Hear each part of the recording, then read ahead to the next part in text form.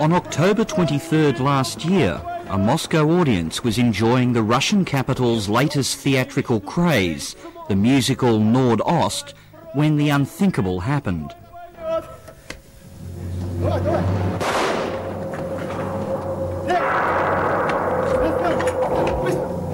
A group of 50 terrorists brandishing guns and wired with explosives laid siege to the theatre.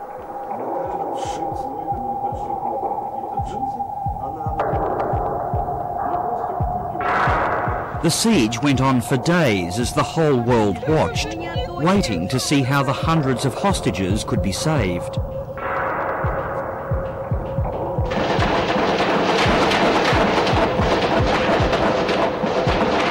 Russian special forces pumped a powerful knockout gas into the theatre. And while they slept, the terrorists were eliminated one by one with a shot to the head. More than 100 of the captives also died, poisoned by the gas. But for the Russian government and President Vladimir Putin, this was a proud achievement, a courageous stand in the global war against terror. Россия не пойдет ни на какой сговор с террористами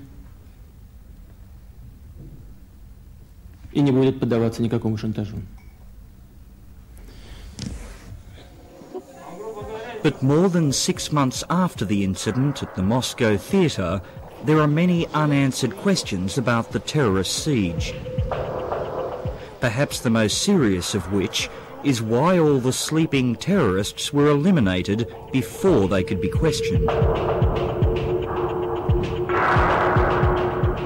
Какая необходимость была российским спецслужбам уничтожить всех э, захватчиков, когда они уже были абсолютно безопасны? Они практически были э, беззащитны и беспомощны. Да? Их спящими просто умертвили. Я думаю, необходимо было все-таки, чтобы они остались живы, и они дали ответы на многие вопросы, которые мы сегодня ставим. И также ставит и российская общественность. Ahmed Zakayev was a Chechen government minister before becoming a rebel field commander in the armed struggle against the Russian army. But he once had a very different career. Профессия у меня была самая, скажем так, Э, из гуманных. Я работал актером в театре. Закон... Ну, вначале я закончил училище хореографическое. Now Zakayev has been thrust onto the international stage, cast as Russia's most wanted terrorist. In fact, for a time, Russian authorities accused him of masterminding the Nordost theatre siege, an allegation he strongly denies. Нет, конечно. Нет, конечно, это неправда. После трагедии 11 сентября Россия как раз-таки первостепенной задачей у них была, чтобы нас перевести в разряд вот, международных террористов. Eight years on from his time as a rebel commander, Russia now wants to extradite Zakayev from London to face charges of murdering over 300 policemen during the First Chechen War. But he says it's the Russian government that has the most blood on its hands. И если вы знаете, что в Первую российскую чеченскую войну было жертв намного больше, чем 300 милиционеров. Их со стороны гражданского населения чеченцы более 100 тысяч. But the Kremlin says crimes against civilians are being investigated. Official presidential spokesman Alexander Machevsky says anyone accused of war crimes will be tried in Russian courts. The crimes that committed in Chechnya, whoever they are, uh, bureaucrats, military, law enforcement, bandits or terrorists will be investigated and these people will be caught and courted. The big concern for everybody here who's been planning the relief effort in Jordan and elsewhere. As Ahmed Zakayev sits in his hotel room observing the Iraq War live, the war in Chechnya, his war, continues to exact a far heavier toll, but out of sight of the world's media. Полный ход использовали эту ситуацию. То есть с 2001 года по сей день можно считать, в Чечне уничтожено более 20 тысяч мирных граждан. И все это делается э, под молчаливым согласием всего международного сообщества. Zakayev calls himself a freedom fighter, but says he's committed to a peaceful political solution for Chechnya. That's rejected by the Russian government, which likens him to Osama bin Laden. What we have in his accusations is definitely uh, uh, not a political accusations. It's accusation in torturing person, particularly shutting his fingers off, if you want to know. Uh, particular accusations in um, uh, fighting against Russian law enforcement and also the uh, having um, the attempting assassination of the representative of law enforcement. So these kind of accusations uh, are not political, uh, they are criminal. Yet just six years ago, the Russians negotiated a formal peace treaty with those they now call terrorists, when Boris Yeltsin recognized the elected Chechen president, Aslan Maskhadov.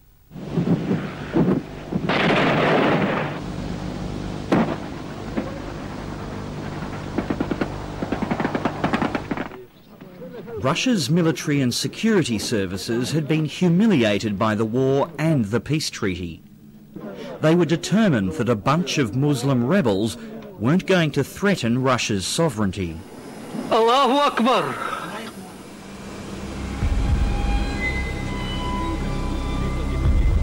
Days after Vladimir Putin became Prime Minister in September 1999, terrorist bombs ripped through several apartment buildings, killing hundreds of sleeping victims.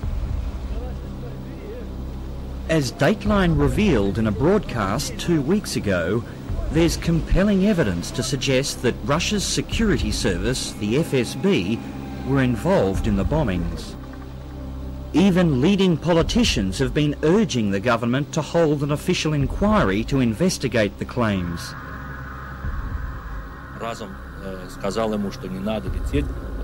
Their suspicions were heightened earlier this year when Sergei Yushchenkov, one of the politicians pressuring the government over the bombing claims, was assassinated. Как раз таки уже ни у кого нет сомнений в том, что это были проведенные спецоперации российскими спецслужбами для того, чтобы начать вторую военную кампанию и привести к власти никому неизвестного подполковника ФСБ Владимира Путина. Вот с этой целью и были проведены эти операции. But Russia's official response was to blame the Chechen rebels for the terrorist blasts, and Putin commenced the Second Chechen War.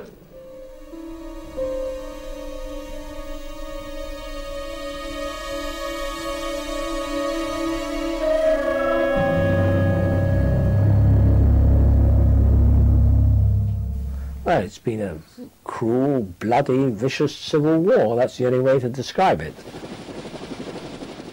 Lord Frank Judd is a former British Defence Minister and a prominent member of the Council of Europe. His job as the Council's rapporteur for Chechnya gave him rare access to the horrors of this hidden war. the visions of the human situation there were, uh, will be with me all my life. I mean, I can see the people. I can see Grozny. I was one of the first people from the outside world into Grozny after the bombardment. Those things will be with me for the rest of my life. Can't walk away from it.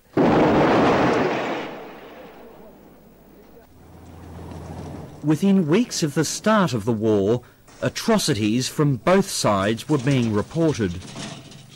A German television station was the first to broadcast evidence of mass graves in Chechnya. Later, Amnesty International accused the Russian army of summary executions, rape and torture.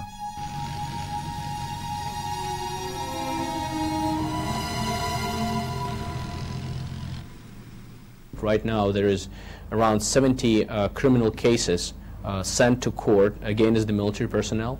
Uh, around 53, 53 people, 53 uh, military personnel are being sentenced for the crimes against the civil population, including about 10 officers. Кстати, основная проблема, почему Путин не может закончить войну, это потому что он боится ответственности за те преступления, которые совершили вот за эти три года. То есть там убито большое количество людей, похищено, и они в ямах там. Alexander Litvinenko was a lieutenant colonel in Russia's Federal Security Bureau, the FSB, and served with them in Chechnya.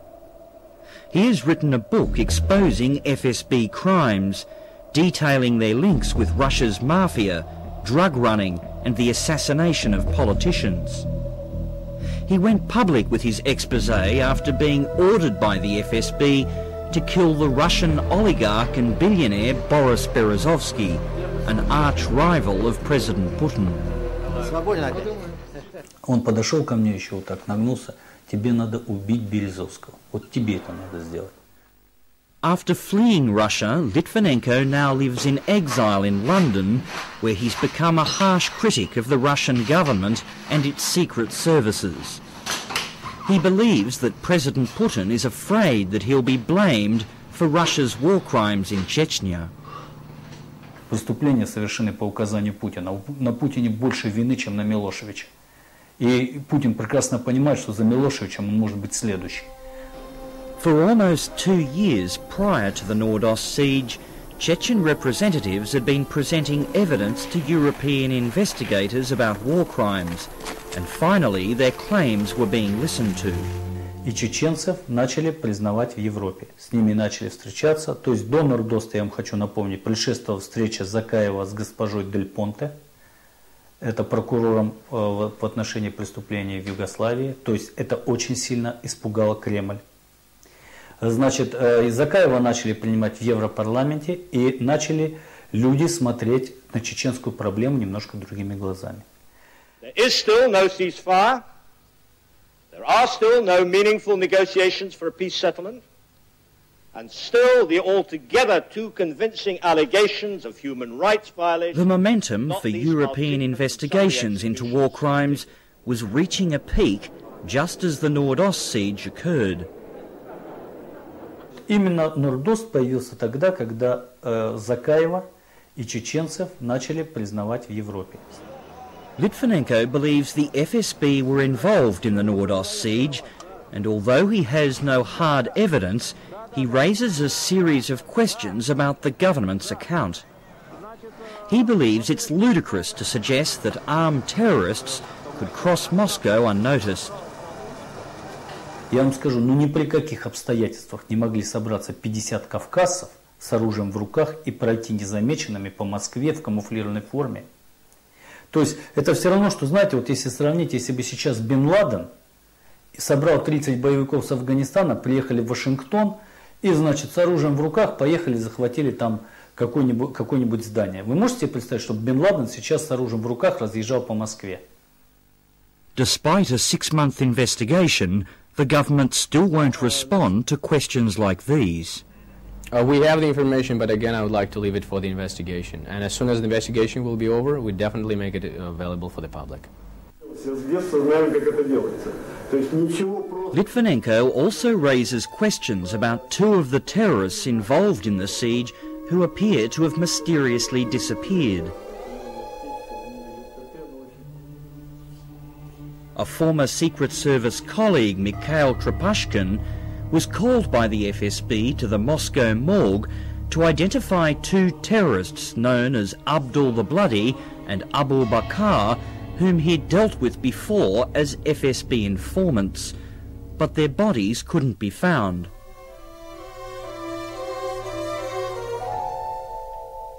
Когда начали устанавливать этого Абубакара и Абдула среди убитых, их среди убитых террористов не было. То есть ФСБ свою агентуру вывела.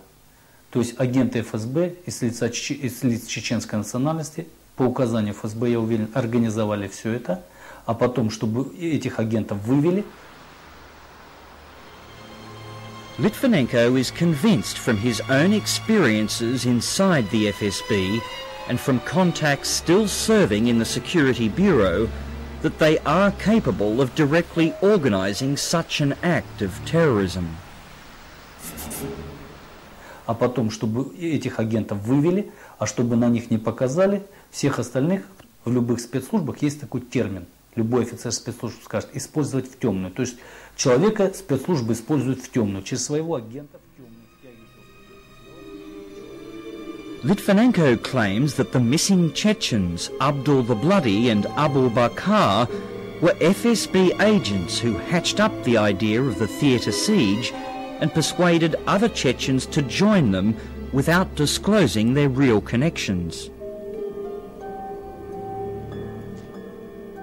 Вот этих террористов, которые убили, они были использованы в темную Абдулом и, Абду, и Абу Бакаром, в отношении которых у нас есть данные, что они сотрудничают с ФСБ, с органами Федеральной службы безопасности Российской Федерации. It's, it's, it's not serious. It's, it's again from those theories that uh, people try to, uh, to make up. They're trying to, uh, to make the governments somehow to react to make that as a topic. But this is not a topic to discuss. This extraordinary series of allegations are also being pursued by an unofficial committee of Russia's parliament and local journalists. Dateline has put every one of them to the Russian government, but their spokesman declined to answer them directly.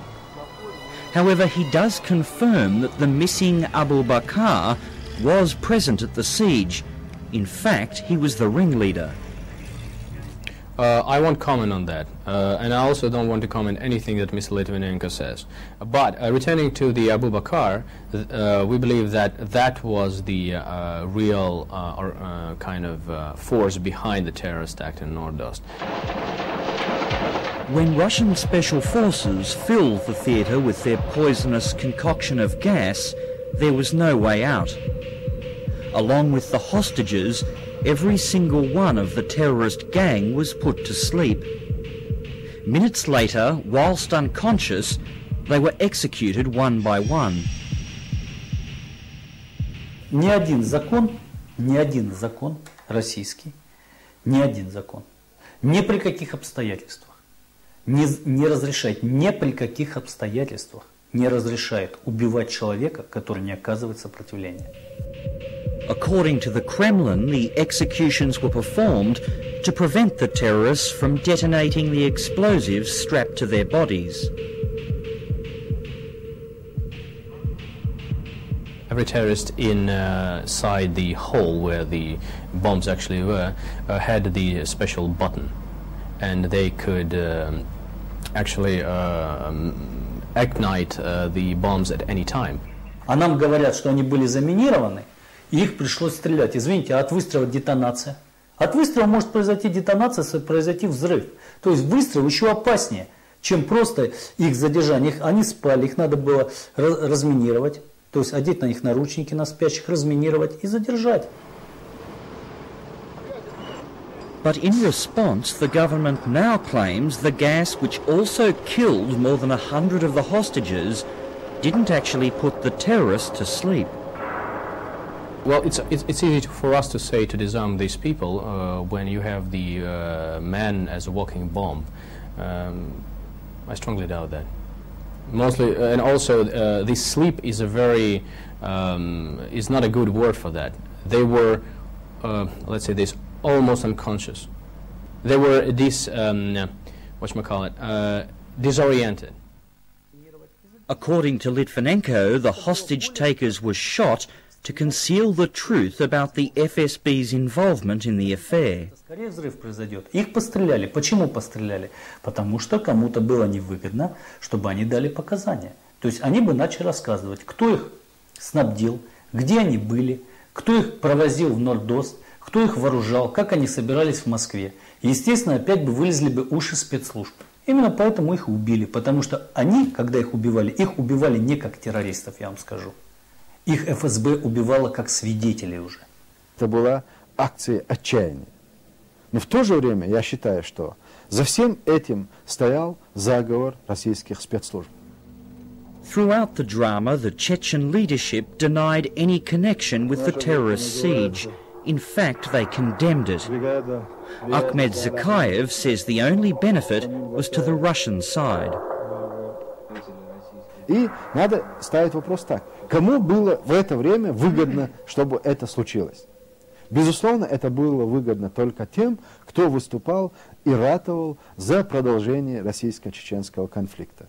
Это было выгодно тем, которые пытались на протяжении трех лет борьбу за независимость чеченского народа перевести в разряд э, борьбы с международным терроризмом.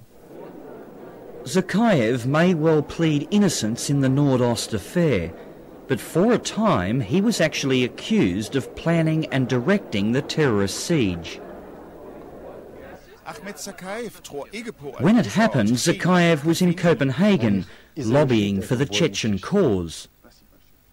The day after the siege ended, Zakayev was arrested by Danish police after Russia requested his extradition. Пришла в Данию арестован Закаев по представленным документам нашей прокуратуры. Я думаю, наш следственный орган давно его ждут. Хотелось бы, чтобы побыстрее был экстрадирован в Россию. But the delight of the Russians was short-lived, and a month after his arrest, a Danish court rejected the Russian case, claiming there was no evidence. When Zakayev flew to London, the Russians immediately requested his extradition again. But this time they curiously dropped the accusations about Nordost Definitely, um, uh, in uh, London, the accusations against Zakayev um, were more clarified and they kind of got the real judicial shape that I didn't want to go inside too deep because this is up to the uh, Russian prosecutor's office. Я намеревался, когда я собрался вылететь в Англию, я знал, что меня здесь ожидает, но я на это пошел сознательно. Zakayev's extradition case will be decided by a London court next week. It's excited a lot of interest in Britain, where his supporters like actor Vanessa Redgrave are proclaiming his innocence. He's an elected leader. His president was elected in 1997, recognised by every European government. Committed no crime, cleared by all security services, including the Russian security services. Lord Judd also questions the Kremlin's motives in pursuing Zakayev as a criminal. What I do know is that in the conversations which I've had over the past three and a half years about the future of Chechnya, he was one of the people with whom it was possible to have the most intelligent, imaginative, sensible discussions about a political way forward. I therefore have to ask myself whether it was altogether accidental that he was taken out of the process at this juncture. Welcome to the House of Lords. У меня двоякий статус.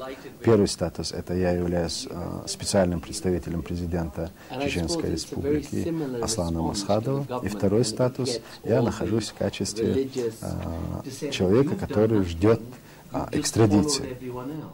Despite his legal struggle, Ahmed Zakayev continues his work as official envoy to the Chechen president. Today he's meeting Lord Ahmed at Britain's House of Lords, lobbying for a political solution to the war. But he thinks that's unlikely while President Vladimir Putin remains in power. Я думаю, что до тех пор, пока будет находиться у власти Путин и сохранится сегодняшний режим, я просто уверен в том, что в России будут продолжаться террористические акты. Я просто в этом уверен. Потому что они выгодны сегодняшнему руководству. Они пришли на волне вот, этой, вот этих трагедий, они сохраняются у власти на волне этих трагедий. But for the Russians, it's the Chechens who are responsible for the terrorism. As for uh, colleagues of Mr. Zakayev, well, you call them rebels, I call them bandits. Uh, uh, you have to excuse me, but I know some, perhaps a little bit more about them than you do.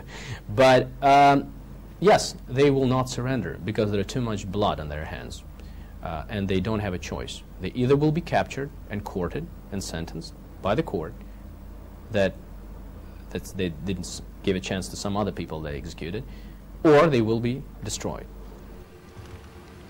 More than six months after the deadly theatre siege, there are now two starkly different views about who was responsible. Either the Russian government's official account of desperate Chechen terrorists is accepted, or the Kremlin is covering up evidence of its own involvement. I'm rather doubtful as to whether we'll ever know what really happened and who really organised what and who really uh, is involved and who really isn't involved. I mean, I think there is a lot of treachery in the Chechen story. With the Council of Europe still pushing for the establishment of an independent war crimes tribunal, the Chechen rebels are confident that they'll soon have their day in an international court. Или же я международный террорист номер два после Усама бен Ладена, или же Владимир Путин военный преступник после а, Милошевича. И пусть суд приносит, выносит такое решение. Я, а, я готов к тому, чтобы суд рассматривал именно эти два вопроса. А готов ли к этому российский президент? Вот это время покажет.